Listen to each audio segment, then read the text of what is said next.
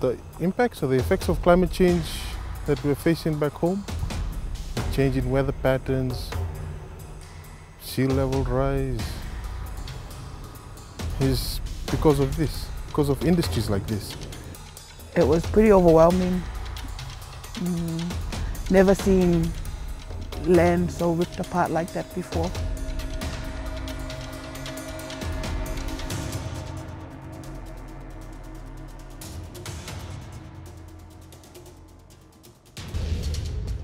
The impacts that climate change is happening on the culture and the identity and the security and sovereignty of Indigenous peoples is almost exactly the same no matter if you're in Fiji or in northern Alberta.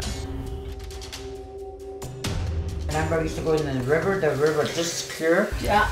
And now you can't see nothing in the river. It looks like uh, coffee now.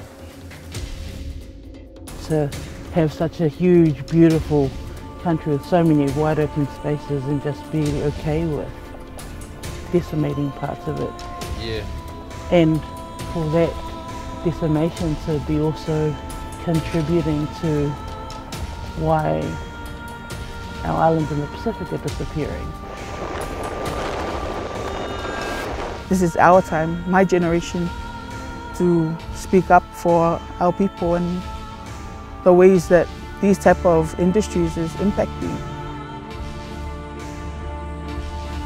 If Kiribati and Tuvalu, Tokelau, Marshall Islands disappear, the rest of us will follow in quick succession. You just need to keep this in the ground, keep fossil fuel in the ground.